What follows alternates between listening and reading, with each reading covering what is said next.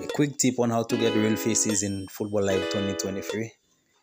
Firstly, you navigate to your data folder in your Football Life 2023 game install folder and you look for the two files which I'm highlighted in the video.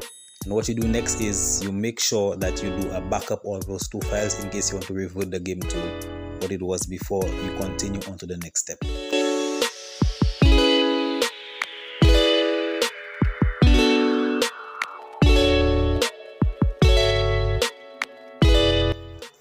Then you navigate to your PES 2021 game install folder and you locate the data folder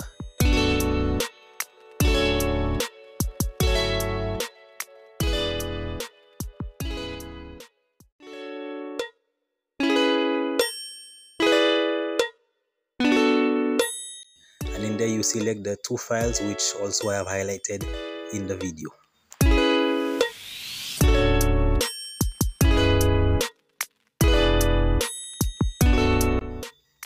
After you have selected the two files from your PES 2021 data folder, you will navigate back to your Football Life 2023 game install folder and you paste the two files in there.